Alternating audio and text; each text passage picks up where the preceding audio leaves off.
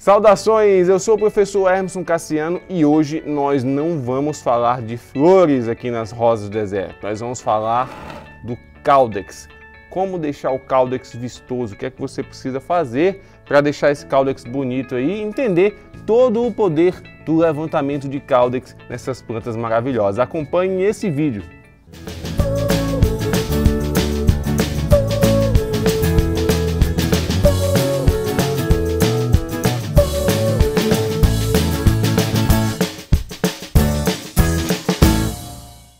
Olha, se você está chegando agora e ainda não é inscrito no canal, não esqueça de se inscrever, inscreva-se no canal e marca, aperta o botão do sininho, você vai ser sempre notificado quando a gente tiver novos vídeos por aqui. Olha só, eu tenho certeza que você não admira as rosas do deserto somente pelas flores.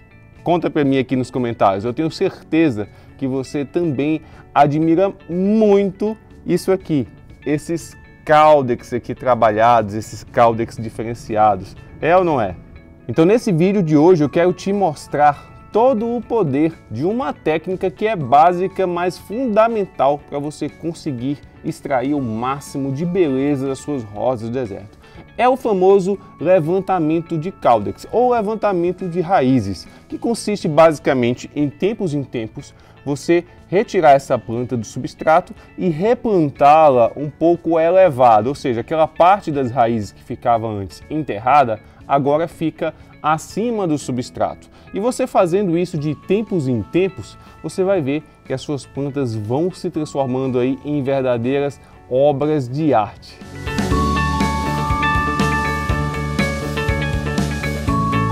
E os meus alunos lá do Método Rosa Zé de Azeite, olha, eles hoje estão com verdadeiras esculturas no jardim, porque lá a gente explora em detalhe todos os tipos de levantamento de caudex, como fazer em plantas jovens, adultas, plantas de grande porte, enfim, dá para você fazer bastante coisa.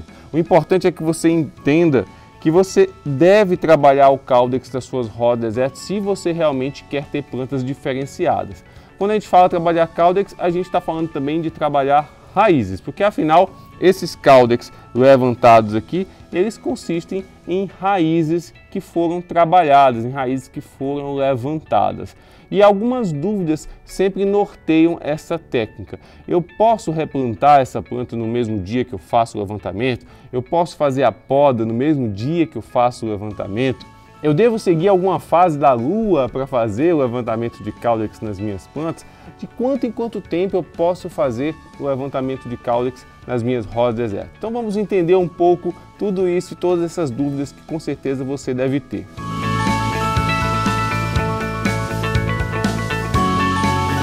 Primeira coisa, será que eu devo replantar a minha rosa do deserto que eu acabei de fazer a limpeza de raiz, fazer o levantamento de cauda, será que eu posso replantar no mesmo dia? A resposta é depende, tá?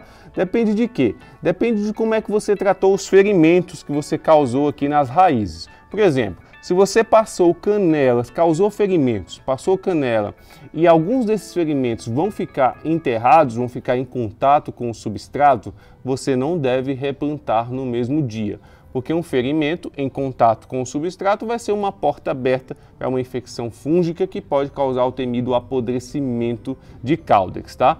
Então qualquer ferimento que você causar nas raízes das suas rosas deserto durante o procedimento de levantamento de caudex deve ficar na parte que vai ficar aqui acima do substrato. Então se você tomar esse cuidado de deixar a planta com os ferimentos somente aqui nessa parte que vai ficar por fora, não vai ficar enterrada, não tem problema você replantá-la no mesmo dia. Nesse caso aí, você pode. O que não pode fazer é replantar ela com ferimentos que vão ficar debaixo do substrato. Se for ficar ferimento em contato com o substrato, não é interessante que você replante no mesmo dia.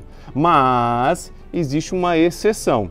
Se você tratou esses ferimentos com cola instantânea, por exemplo, aquelas colas do tipo Super Bond, Tech Bond, né? Você passou cola nesses ferimentos, deixou secar, então depois de seca, esses ferimentos estão aí totalmente isolados e aí nesse caso você pode replantar, independente se esses ferimentos vão ficar em contato com o substrato ou não, porque a cola ali ela garante um isolamento completo e isso permite que você replante no mesmo dia, mesmo com ferimentos em contato com o substrato.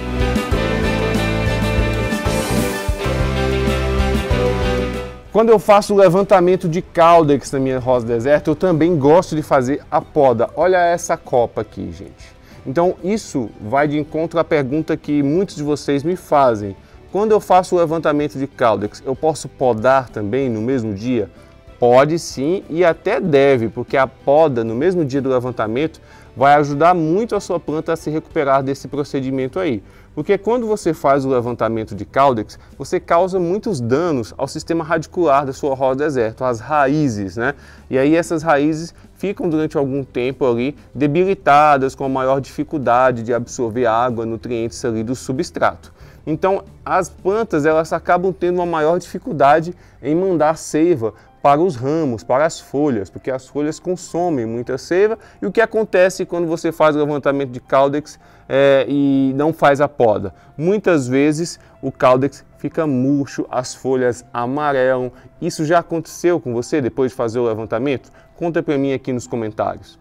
Então, uma maneira de diminuir o estresse da planta é justamente você, junto com o levantamento, fazer também a poda. Então, ao mesmo tempo que você está ajudando a planta a se recuperar desse procedimento, a ter menos dificuldade ali para se recuperar dele, você também está contribuindo para a beleza dela. Porque quando você faz a poda, você vai ter uma copa cada vez mais cheia e, consequentemente, cada vez mais florida. Então, a resposta para a pergunta se você pode podar a sua rosa deserto no mesmo dia que você faz o levantamento de Caldex, a resposta é sim, pode e eu até recomendo.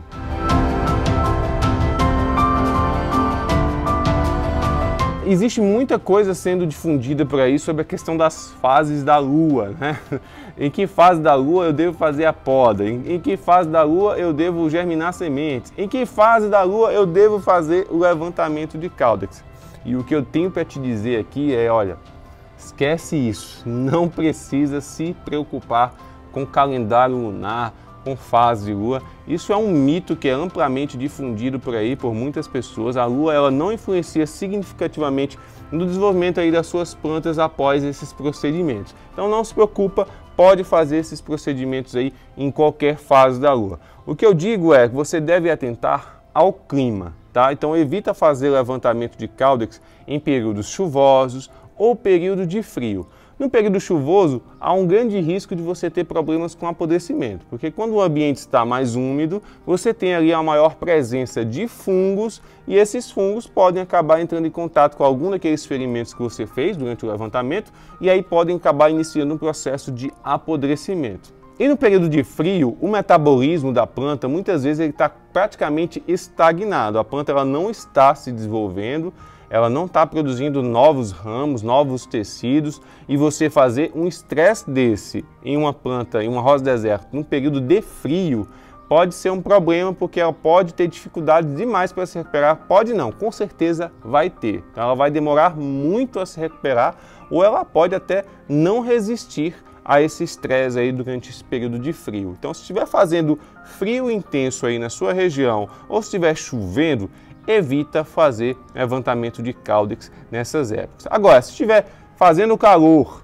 e estiver na lua cheia, lua nova, lua minguante, enfim, lua crescente, não precisa se preocupar. Se estiver quente aí na sua região nessa época, não estiver chovendo, pode fazer o levantamento de caudex em qualquer lua que não há nenhum problema quanto a isso.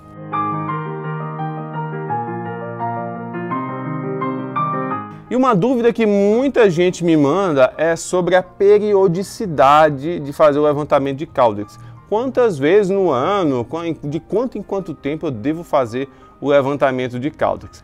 Olha só, isso depende muito da rosa deserta que você tem aí, que você está pensando em fazer o levantamento. Por que, que eu falo que depende? Porque o crescimento das suas plantas, ele é diferente. Então, existem algumas plantas que crescem mais rápido, outras que crescem mais devagar. Por exemplo, essa aqui, a última vez que eu fiz um levantamento de Caldex nela foi há dois anos. Sim, há dois anos e eu ainda não fiz um outro levantamento e eu ainda não acho que está na hora. Então, o que, por que, que eu falo isso? Porque eu, eu cavo um pouco aqui o substrato, dou uma olhada ali como é que está o desenvolvimento das raízes, eu vejo que ainda não se desenvolveu o suficiente para fazer um novo levantamento. Em compensação, existem outras plantas que eu faço com mais frequência. Olha essa aqui, olha que maravilha de levantamento. Olha isso, olha que Caldex lindíssimo, né? Essa planta aqui ela está enxertada, eu fiz um enxerto de viúva negra aqui em cima e ela tem um Caldex muito bonito. Eu fiz o levantamento dela há um ano, mais ou menos, tá? E mais ou menos aqui há uns, alguns meses, quando passar o período chuvoso, eu vou dar uma olhada aqui, porque eu vejo aqui que ela se desenvolve bastante aqui embaixo e ela é uma forte candidata a passar por um novo processo de levantamento de caudex. Então a periodicidade do levantamento de caudex na sua rosa exército vai depender muito de cada planta e da taxa de crescimento dela, tá? Então observe se a sua planta está forçando as paredes do vaso, se o vaso está ficando pequeno para ela, as raízes estão ficando muito estufadas ali. Então plantas assim sinalizam que estão precisando de um levantamento de caudex. Não tenha pressa, não fique ansioso, ansiosa para fazer esse levantamento antes da hora, tá? Tenha calma, observe que a sua planta com certeza ela vai saber te dizer quando fazer esse levantamento. O que eu posso te dizer é que em média, uma vez a cada dois anos é a média aí de levantamentos de caudex nas rosas do deserto. Antes disso, eu acho desnecessário porque não há um desenvolvimento que justifique esse estresse, esse procedimento na sua planta antes de dois anos. E a outra dica é sempre faça logo após ao período chuvoso. Então, passou o período chuvoso, você avalia qual é a planta que pode estar passando por levantamento de caudex.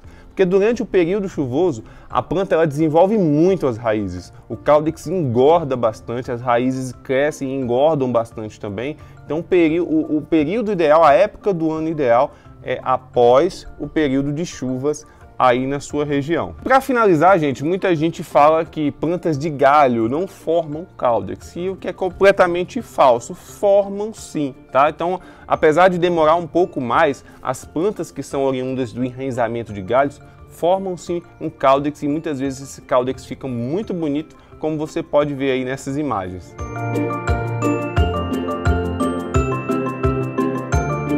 E é isso, eu espero que esse vídeo tenha sido útil para você. Não esqueça de compartilhar também à vontade. Me siga no Instagram, que está aqui embaixo, e a gente se vê no próximo vídeo. Um forte abraço, tchau, tchau.